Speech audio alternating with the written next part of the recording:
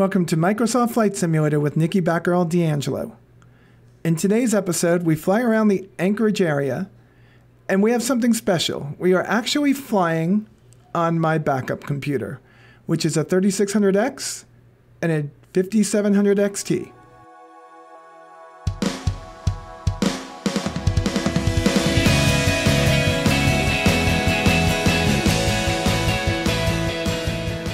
Checking out this sim, Seven Ways to Sunday. Microsoft Flight Simulator has very quickly become something that I've been cynical of. I was a little nitpicky, started to like it, and over time have started to fall in love with it.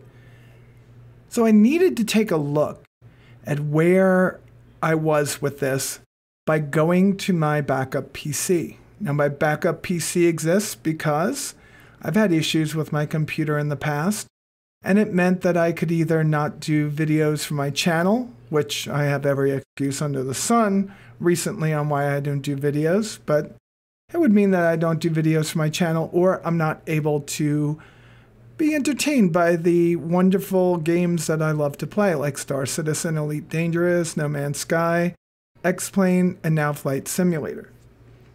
When I built it, I wanted to build a mini system, and I didn't. I wound up buy, buying the parts to make a micro ATX system.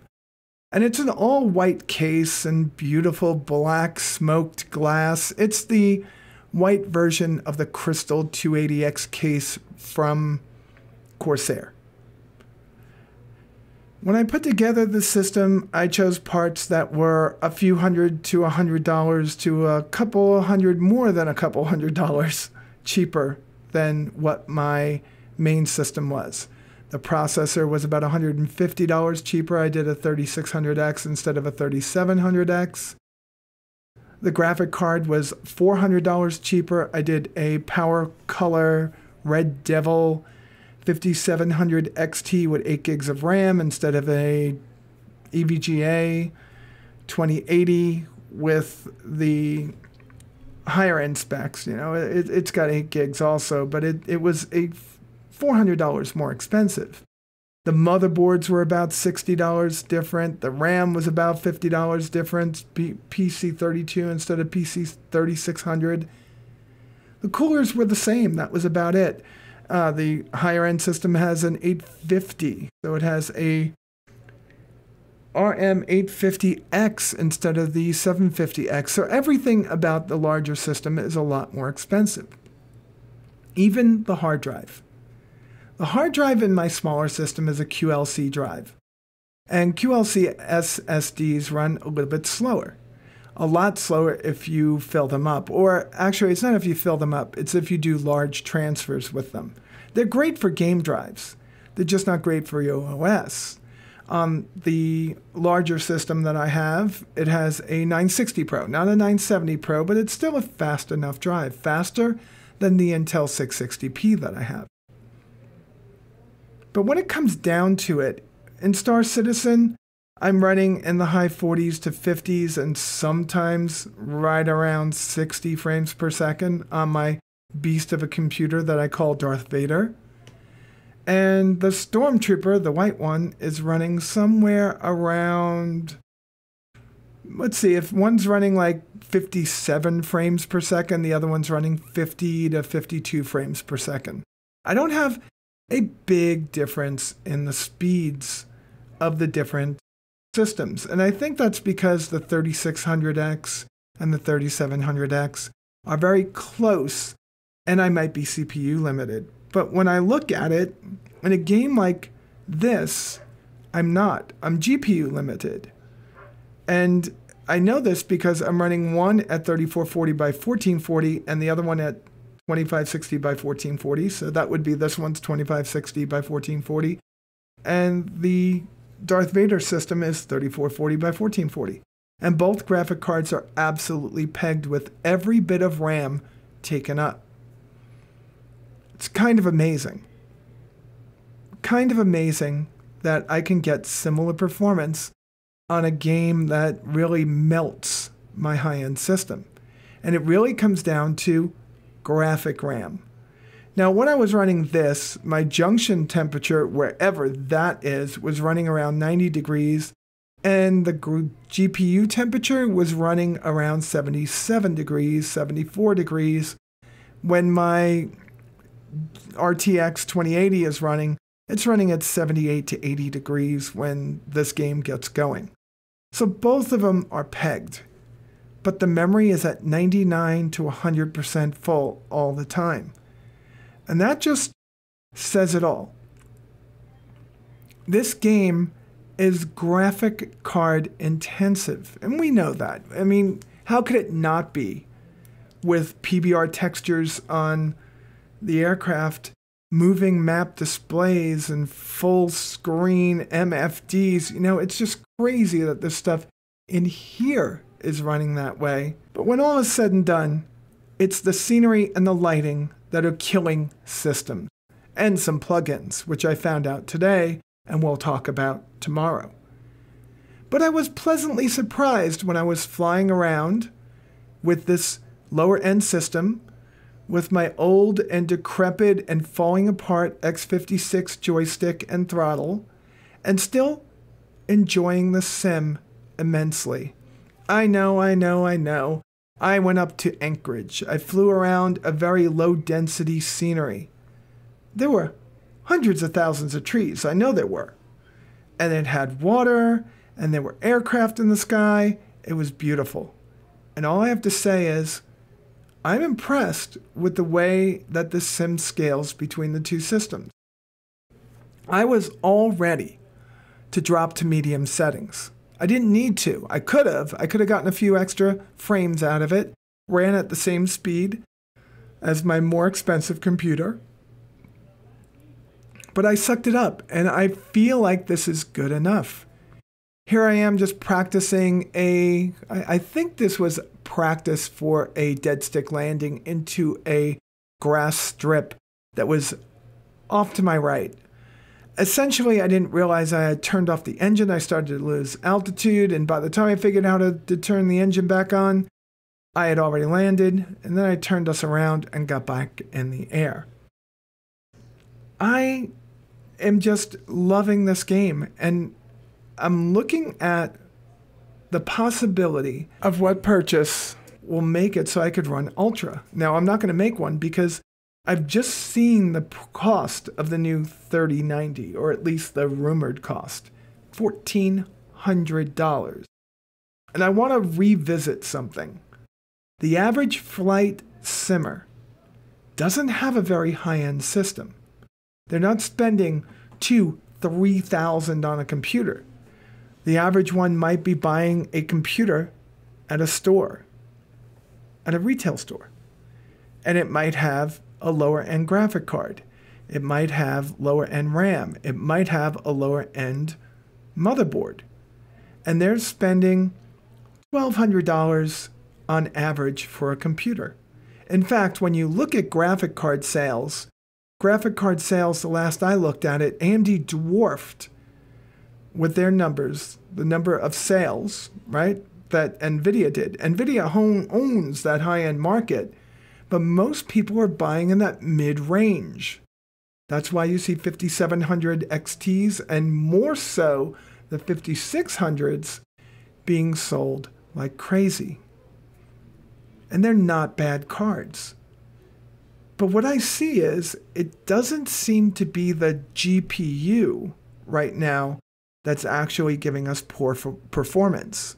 Now, our processors might be running at 40 or 30 or 60% utilization. That's mainly because DirectX 11 is using four cores instead of the eight or six cores that I have in the two processors that I have. But still, even if they were able to use more cores, my graphic card RAM is still pegged. Not so much the GPU itself, but the RAM.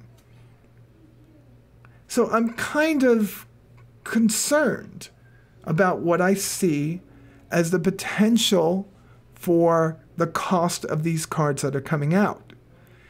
Now, I would say the maximum I would ever see spending is what I can pay off either immediately or over a year with my Amazon card. My maximum would be right around $700. On the NVIDIA side, that's not even going to get me a 3080. That's going to get me a 3070. And right now, the 5700 XT is just below, just below the 2070. Not the 2070 Super, but the 2070. So Big Navi, to me, must be upping that game to where the big Navi cards are going to be closer to the performance of the 3070 and 3080 but should cost a lot less with features like 16 gigabytes of RAM. Now, obviously, I am projecting things that may not come to pass. But in order to enjoy this sim at high end at 60 frames per second, or even to imagine playing it on VR, which it will be here once DirectX 12 is here, I, I, I can't imagine having anything without 16 gigabytes of RAM. And NVIDIA is that company that charges for those extra features in the cards. I don't blame them. They really do have the end all be all cards, but they're not so much better. They're for the person that's trying to squeak out those extra frames, and those people buying the Titans aren't the people I'm talking to. The people buying the 2080 Ti's aren't the people I'm talking to. I'm talking to the people that are going to buy a 2080, a 2070, and then this year upgrade to a 3080 or a 3070. If it's only a few frames per second that you're dropping, how many of those frames are we going to get back once we have double the RAM? Once we have 16 gigabytes instead of 8 gigabytes? I know we have to wait and see. We don't even know what rumors are right, what rumors are wrong, where the truth lies in these wonderful cards that will be coming out real soon. And Intel is a newcomer to this. I'm wondering where they're going to fit into all of this. How are they going to enter this gaming market and make an impact? Will it be with something like Flight Simulator? I don't know. I kind of hope it is. I hope having three game card companies, three graphic card companies, we start to see a bottoming out of the prices, or I should say, a leveling off of the prices. They're, they're in an outright launch profile right now as far as each iteration of the card is. I mean, it's amazing. The cards go up in price, a percentage in price, more each year than the actual percentage that you're gaining in frames per second. And I know that the cards are doing more. I know there's these deep learning super sampling.